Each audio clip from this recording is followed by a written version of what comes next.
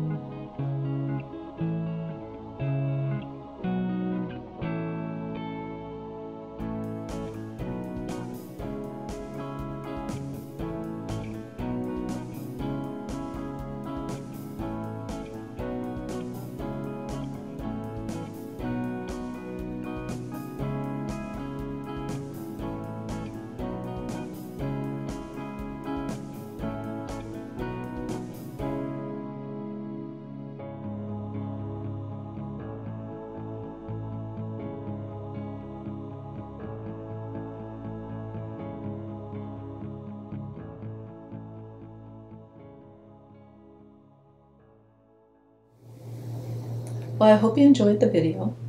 The moon was burned on Russian birch plywood and it took me 14 hours to complete it. At my website, Pyrography Made Easy, has a written tutorial and a free pattern that you can download for this particular episode. Well, thank you again for watching and please subscribe.